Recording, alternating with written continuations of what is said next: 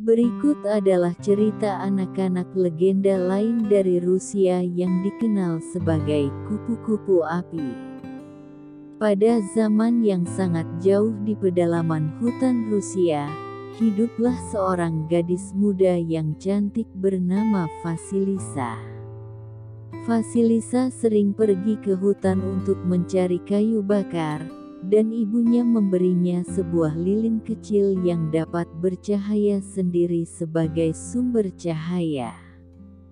Suatu hari, ibu Vasilisa meninggal, dan sekarang Vasilisa harus tinggal bersama dengan ibu tiri yang jahat dan saudara-saudari tiri yang sombong. Mereka membuat Vasilisa melakukan semua pekerjaan rumah tangga dan menyiksanya. Namun, Vasilisa memiliki lilin bercahaya yang ia sembunyikan dan gunakan hanya pada malam hari. Cahaya lilin itu sangat cerah dan mengusir semua kegelapan di sekitarnya. Ketika ibu tiri dan saudara-saudarinya mencoba mematikan lilin itu, mereka terbakar oleh api yang kuat.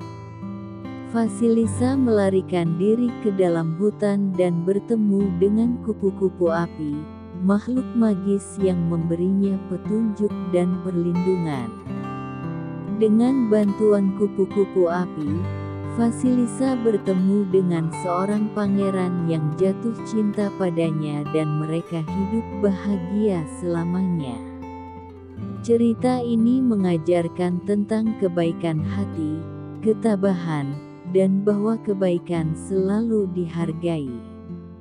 Vasilisa juga menunjukkan bahwa bahkan dalam situasi sulit, kita dapat menemukan bantuan dan pertolongan dari tempat yang tidak terduga.